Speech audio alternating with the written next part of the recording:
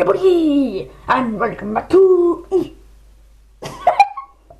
The food. Puff. anyway, welcome back to Q&A Sunday. to even they can't see. Food. Hello. And um, so yeah, uh, with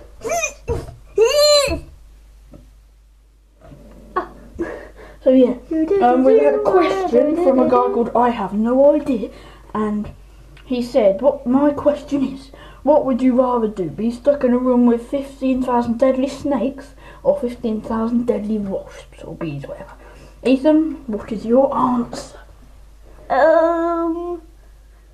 Bees. Because I would love Well, to find out. I have a question. Um, is, are the are the snakes angry or not? If they're not angry, then I'd just stay in there. Yeah. If they were angry, then I'd probably Evacuate. I'll, I'll, I'll just go in with the snakes, whatever.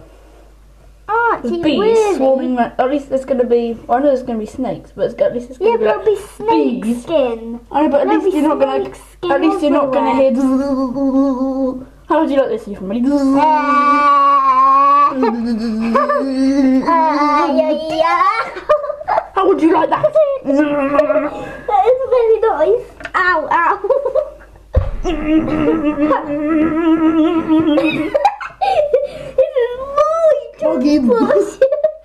Lovely. Anyway, and so Ethan, one more question. Ethan, who do you love? Someone. Ethan, do you love China? No. Do you love Freya? Do you No. love Scarlet? No. Whoa, let me see it. Anyway, I So- do love someone though. who do you love, Ethan? Sarah. I feel bad for saying that to YouTube. So no, I don't. I'm just lying. Okay. But anyway, that's the end of this week's Q&A Sunday.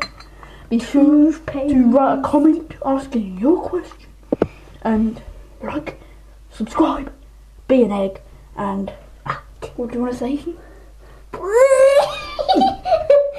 Peace out. I'm gonna go the road.